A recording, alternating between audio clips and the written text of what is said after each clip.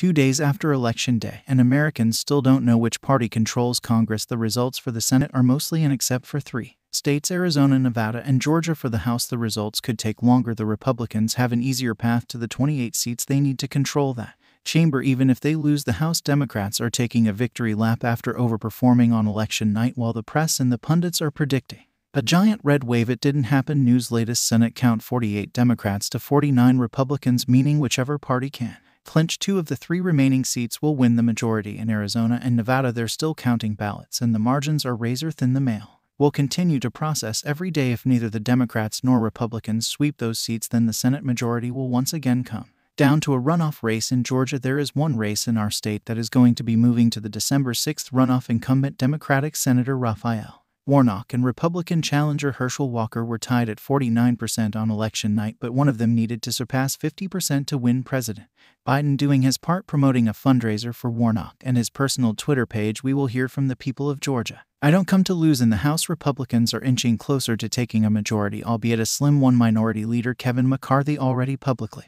seeking support to become the next Speaker of the House despite dozens of races still being undecided. Do you have the votes for both the majority? And speakership, yes, for now all eyes are on Nevada and Arizona, where officials continue to count thousands of votes in every day. As they release more results in their Senate races, we may get a better sense of which party is gaining or losing momentum and win.